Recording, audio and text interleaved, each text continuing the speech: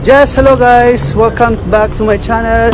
So for today's vlog guys, magpapagupit kami sa Indianong Barbero. Hindi sa Pinoy na bar barbero guys, kundi sa Indianong Barbero guys. Papakalbo ako guys.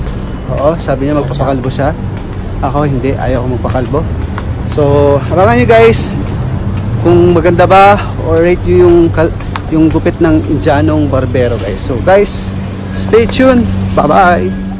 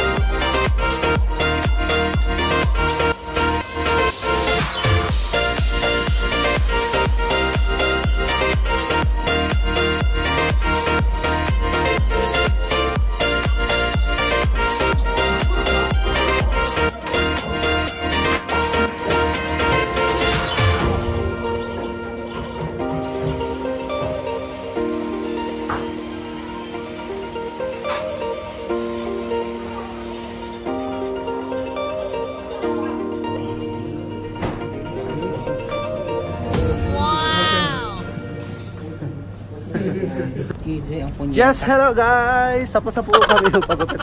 Yun naman yung buhok namin parang nilawayan ng ka, kala, dila ng kalabaw.